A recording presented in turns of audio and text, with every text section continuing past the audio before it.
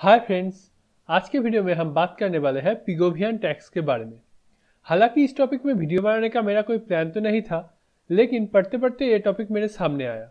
और आज तक मुझे पता ही नहीं था ऐसा भी एक टैक्स है।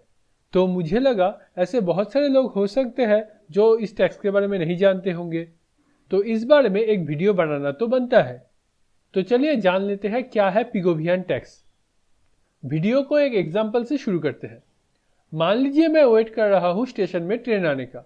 और इसी बीच एक इंसान आया, जो दुकान से जाके एक सिगरेट खरीदा और आके मेरे सामने स्मोक करने लगा।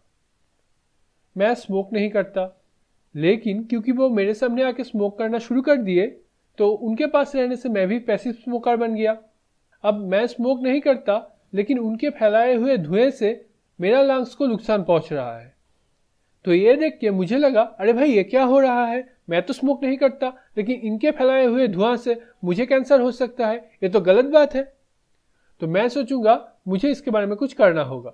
तो मैं चला गया गवर्नमेंट के पास, और गवर्नमेंट को जाके कहा कि आप जरा इस बात पे गौर कीजिए, यहाँ पे लोग आके रास्ते पे स्मोक कर रहा है, और मेरे जैसे इंसान जो कभी स्मोक आज तक किया ही नहीं है, उन लोगों के वजह से उन्हें भी लंग्स कैंसर हो रहा है।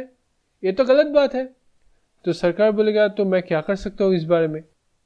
तो मैं कहूँगा, आप टैक्स लगाइए। टैक्स के पैसों से आप हॉस्पिटल बनाइए और फ्री में मरीजों का इलाज करवाइए, तभी हमें जस्टिस मिलेगा। तो सरकार कहेगा, ठीक है, मैं वो सारे हज़ार दस प्रोडक्ट के ऊपर टैक्स लगा दूँगा, जो कि एक कंपनी प्रोड्यूस करता है और उसके कंज्यूमर उसे कंज्यूम करता है। और इन दोनों के काम के वजह से पूरा सोसाइटी को उसका इफ़ेक्ट झेलना पड़ता है। यही है पिगोभियान टैक्स। इसका सबसे अच्छा एग्ज़ाम्पल है कार्बन टैक्स।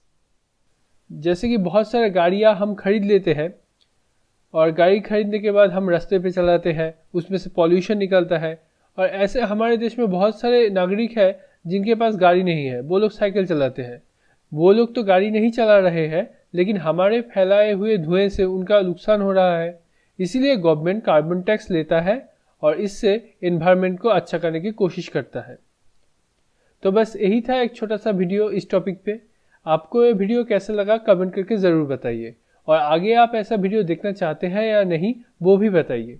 और अच्छा लगा है तो लाइक कीजिए, शेयर कीजिए अपने फ्रेंड्स और फैमिली के साथ। और अगर आप हमारे चैनल में नए हैं तो सब्सक्राइब करने के बाद बेल वाला आइकन पर ज़रूर क्लिक करना। इससे जब भी मैं नया कोई वीडियो अपलोड करूँगा, आपके पास नोटिफिकेशन आ जाएगा। Finally thanks for watching